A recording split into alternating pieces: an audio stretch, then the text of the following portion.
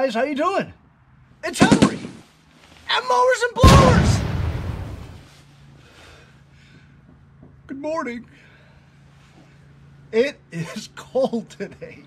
Um, 32 degrees. It really doesn't give you much motivation to come outside and wrench, you know what I mean? But I gotta keep going, man. Otherwise, you know what I'm gonna do? I'm gonna end up just sitting on the couch all day and fall asleep watching movies.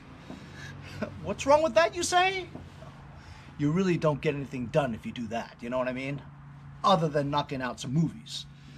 Anyway, I'm down to the nitty gritty, and thank goodness, because uh, as winter comes along, the videos are going to be uh, less often for sure. Uh, I'm down to very few things to fix now. I mean, surely there's always things to fix. Stop calling me Shirley.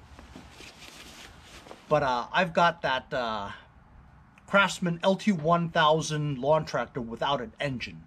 Uh, I'm probably going to bring that in here and shove that Kohler Command 16 on there. Uh, or 12, I forget. But today, I'm going to be working on my last piece of equipment that I haven't even touched yet. It's a two-stroke. I hate two strokes. Gotta bang them out anyway. Anyway, here it is. This is a Echo PB 2100 leaf blower. Found it on the side of the street, maybe three blocks that way. They can't see that way. They don't know what that way is. That way. Uh, I shoved this end of the tube on here, so it's nice and long. It, it was over here and it was missing the other tube.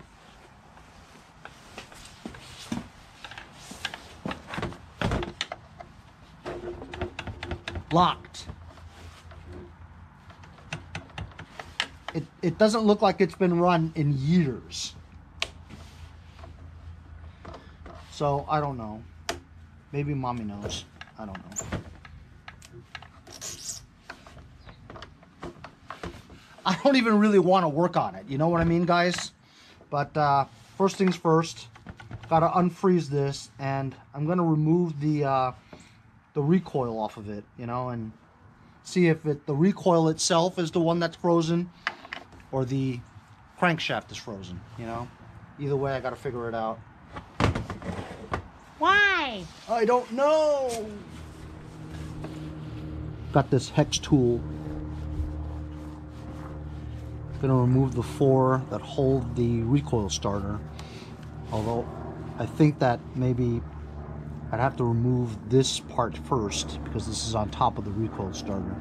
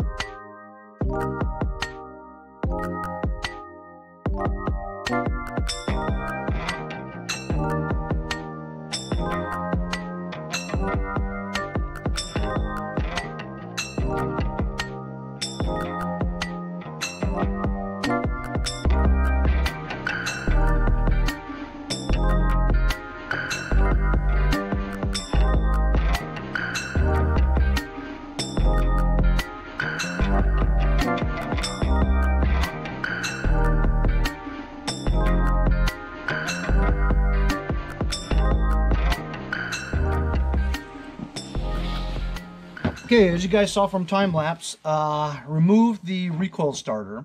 In the recoil starter, I thought that maybe when I looked in it, there was all kinds of rust buildup, right? I mean, it was just rusted out completely, wouldn't even turn, right? I used the channel locks and tried to turn this uh, cup for the uh, crankshaft, and it was very difficult to turn. So difficult that uh, I was almost like bending the cup, you know, with the channel locks. I took some uh, penetrating oil from my friends over at Lucas Oil Sprayed it in there, thinking that it would kind of loosen up the uh, recoil coil, right? But then uh, while trying to turn it and stuff, I could just it just free it freewheeled. You know what I'm saying? And it realized that the um, most inner uh, coil was just spinning on its own because it wasn't attached to the rest of it. And then when I took the rest of it out, it just crumpled into pieces, several pieces actually. So this coil is completely rusted out on the inside. You know, it wasn't it wasn't gripping at all. The coil's done. So this coil is on. Took the uh, spark plug out because I wanted to spray some oil inside the uh, spark plug hole to lubricate the, uh, you know, the crankshaft and the pistons and all that. Um, you know, just to get it to loosen up a little bit. And then when I removed the spark plug, the uh, there's no gap hardly. You know, this this it's touching. You know, there's no gap. So that's not going to work for sure. You know what I mean? Got to make some kind of a little gap there. You know, just a little bit. That'll probably do. So I'm going to spray some penetrating oil in the spark plug hole just to let it free up a little bit, you know. Let it percolate a little bit. I don't know. Uh, I can't really move on without another recoil starter, you know. I'm going to go look in my uh, shed of parts and see maybe uh, my friend uh, 5-Speed Ash might have might have had a... I, I don't recognize this, so I doubt it. But I'll see if I have one back there. If not, I don't know what I'm gonna do. So obviously I could not find a, uh, obviously an Echo one, you know what I mean? I just didn't have anything like it, you know? Uh, however, I did find this. It is a Black & Decker recoil, and it's really good condition. I mean, very good spring action, you know? Sucks it back very well. And it looks about the same diameter. I figure I just I was to abandon the whole project because I didn't think this would work at all because it's so frozen, you know what I mean? But then when I sprayed some of this penetrating oil in the hole, right, and removing the spark plug, I actually used the channel locks and tried turning this a little bit more, and it actually started turning. It's pretty amazing. So, uh, and then I shined the light in the spark plug hole, and I could see the piston moving.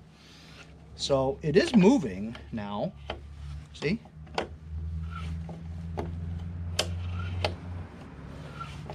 See it moves. So that's part of it right there. But then when I looked on this side, you know, the blower fan, it wasn't moving when I was moving that.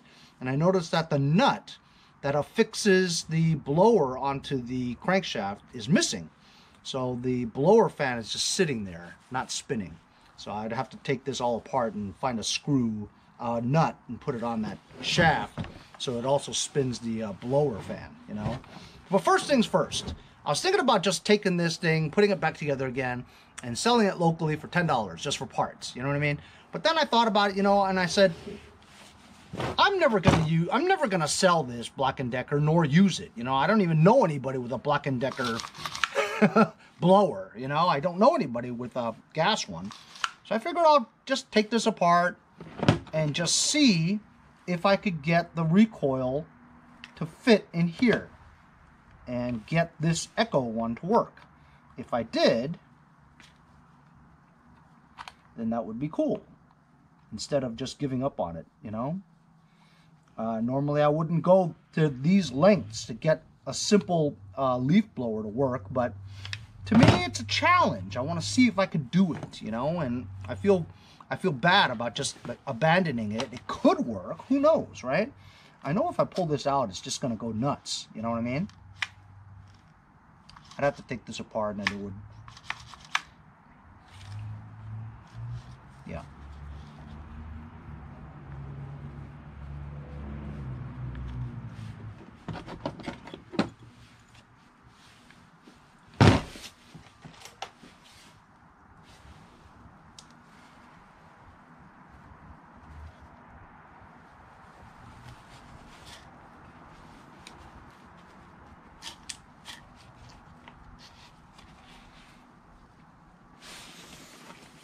Henry, why don't you just cut the rope? Well, if I cut the rope, the rope will be a little bit shorter. So what? And it's a little bit shorter, you may not get all the recoil you want. just an inch. Eh, you're right. it's just an inch. Probably. Oh boy. That's it. That's done. See? Alright, let's see. Oh my god.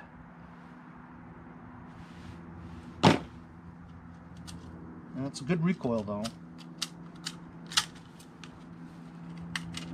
Yeah, it's a good one. Fresh, newish.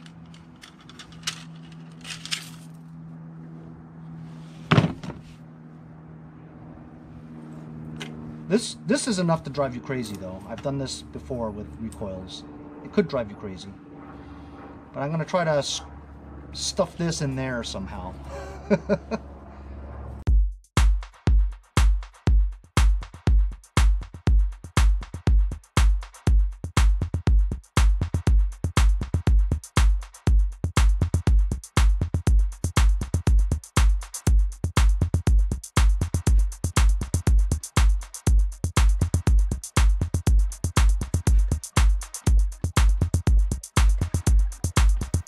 Shout out to Ian Bailey from Wake Forest, North Carolina. For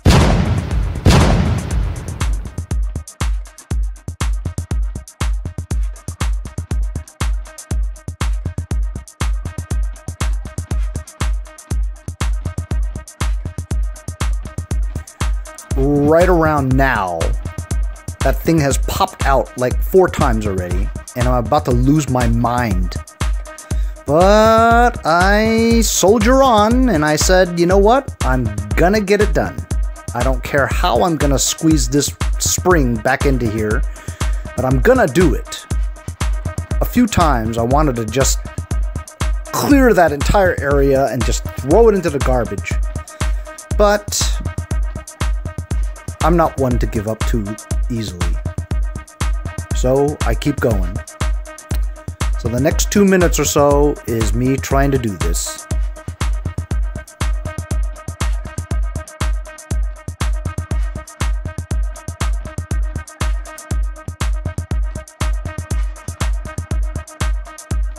If you guys would like to buy a sticker, go check out the description of each video. There are links to my eBay store where you can buy the long bumper sticker, the holographic Patriot sticker, the holographic Doneski sticker, and my regular sticker. Support the channel. Buy a sticker. Also, if you'd like to donate a buck or two, keep the videos coming every day. PayPal.me slash mowers and blowers. Really appreciate your support.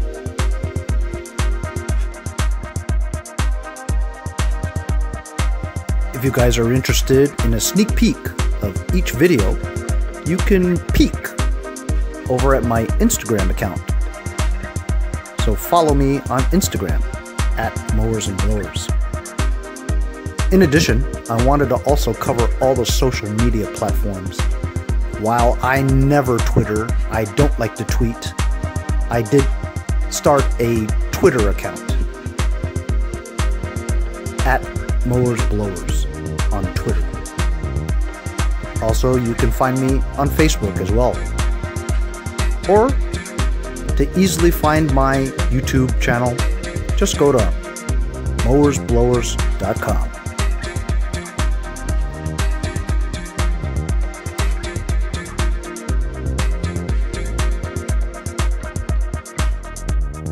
As you can see now, I've discovered that it's easier to hold the coil in my hand and use the um, cup to hook onto the inner part and try to squeeze it in that way. I eventually do get it done that way. I've been at this for like an hour.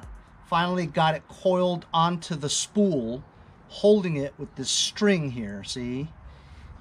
So now I'm gonna just try to place it in here for the very first time.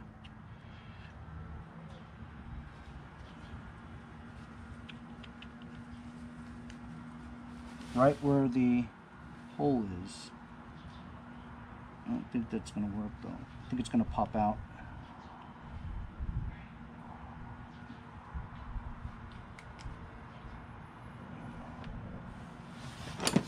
and try to hook the string back out again.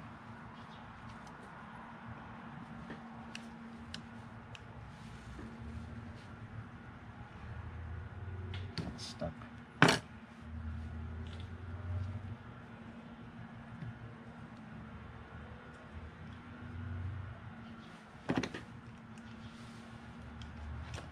This has been like the biggest pain in the rear this entire year, maybe. This might be the toughest thing I've ever had to do. I mean, I literally have had this done like this 13 times, and it just popped out. I think this might be the closest I've ever gotten.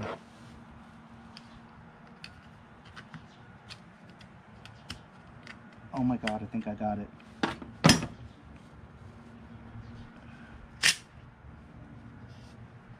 I think it's okay.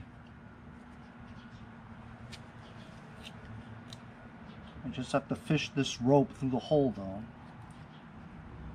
And hope this thing doesn't pop out. So I think it's in there. I think I should put the screw in before I, I do anything else. I don't want to screw it up. You know what I mean? So I've got the coil in there. That's the most important part. Is that I got the coil in there. And it's hooked onto the two little uh, areas where the outer and the inner hook up to. So I just got to fish this rope through the hole is all. And I think I got it.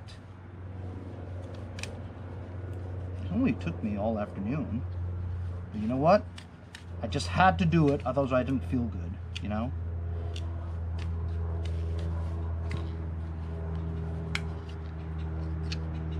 Okay, so look, the reel is in there and it's hooked onto the coil. The coil is in there. I'm going to take the string. I gotta burn this end.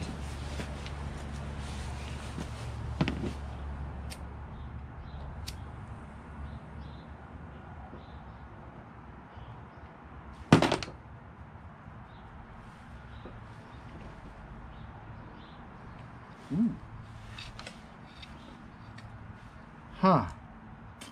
That's not right, because look, if I pull it, it has to... I have to recoil this again. Yeah, and then stick the string through. Oh my god, oh my god, it's gonna take forever. Alright, so I pull it. it has to recoil should I recoil it this way? It has to be this way, otherwise it won't work.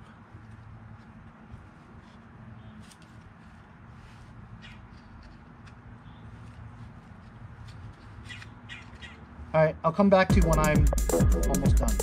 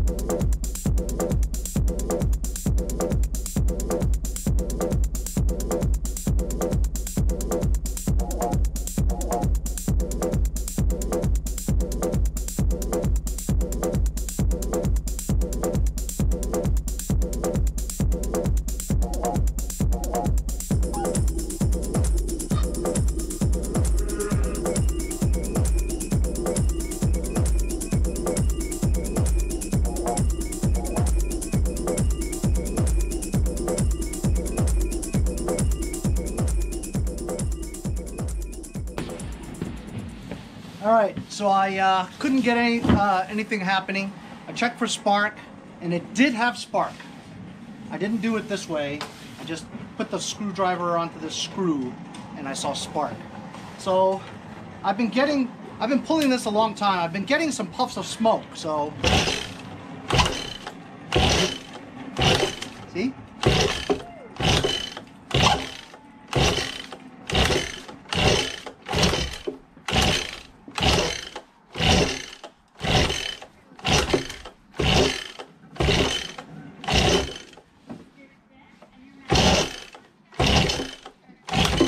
there's puffs of smoke that comes out. It wants to start, but it won't start.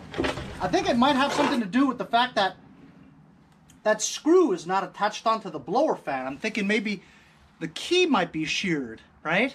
Which I've never done on a leaf blower before, so that'll be kind of interesting.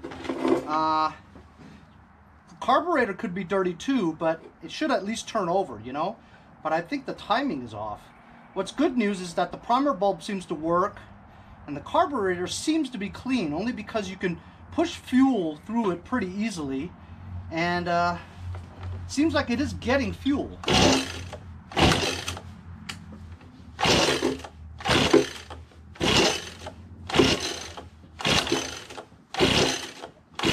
It is getting smoke. You see that? Look.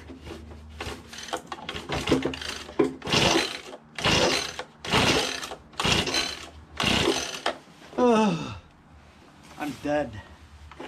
But it is getting spark and it is igniting something in there. I, I think maybe it's because I shot so much uh, penetrating oil inside that it's not igniting properly, you know what I mean? But I think uh, after I move it around a little bit and the uh, oil subsides, maybe I get a couple of ignitions to burn the oil off, right? Um, it'll be okay. But I think I might next have to open this up completely and figure out that uh, blower fan and see if the uh, key is attached.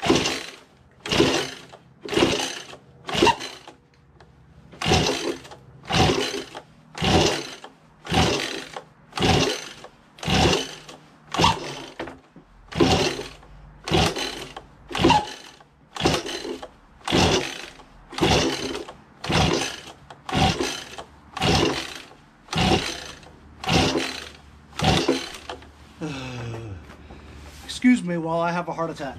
Oh. Mailbag. I ordered a bunch of stuff on eBay. I don't know what this is, but I have a feeling it's like the, the propeller light, the LED propeller light. I bought one with five blades. This looks like it's about that size. You know what I mean? That's what I'm thinking. But either way, whether it is or not, I want to show it to you guys anyway because it's cool, you know?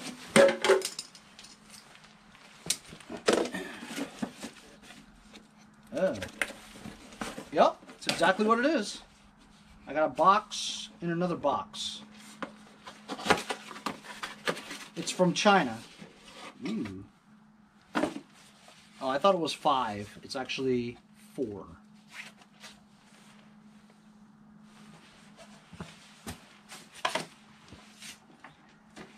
Just uh, show you how to put it on just like that. Can you guys see?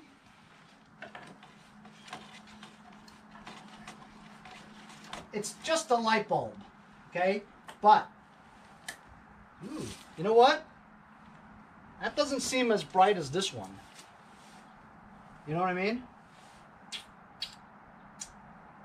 Still good, but it's like not as bright as this one for sure. Because that one you can't even, the other one you can't even see. The, the triple one, you can't even look into it without being blinded. So the, the one with the foursies, that's no good.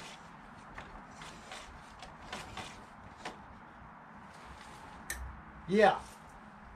That's much, the, the triple one is much brighter than the foursies. You know what, I'm gonna put the foursies on the top one anyway. So I took my fluorescent bulb out of the top. And I put this one here, let's see. Ah. See, I can go like this though.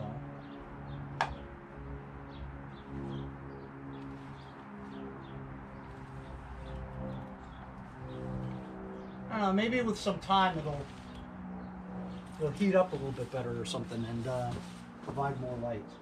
Yeah, the foursies one's definitely no good. I think it was like $15 or $10, something like that. 10 or $15, free shipping. So today, because our recoil starter was completely Doneski, with the recoil inside split into three pieces, I decided to swap over a Briggs & uh, Black & Decker coil onto the Echo. Took me all afternoon to do it, but I finally did do it, and now the recoil does work. So today's episode was just putting the just getting the recoil working, you know, uh, from another Black and Decker part. Not meant for it, but I made it work anyway. Tomorrow we're gonna take this thing apart and figure out why uh, it doesn't start. You know, could be the carburetor or could be a sheared key. Not too sure, but uh, I hate two strokes, man. But you know what? I want to try to figure it out. You know. Thanks a lot for joining me on today's episode. We'll see you guys next time on Mowers and Blowers.